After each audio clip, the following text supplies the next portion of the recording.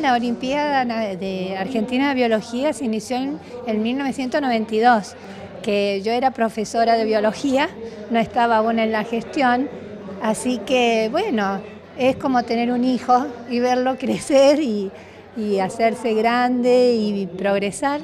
La primera edición eran solamente 180 alumnos de todo el país, en cambio ahora hablamos de miles de alumnos que participan cada año. Así que un orgullo realmente, muy lindo. Y en esta edición número 25, ¿cuáles son las sensaciones que le genera estar presente acá en este acto de cierre? Revivo todo porque estar en contacto con la juventud es algo maravilloso. Eh, uno ve que están todos unidos por algo en común, como es la biología, este, y siempre nuestro lema fue competir compartiendo.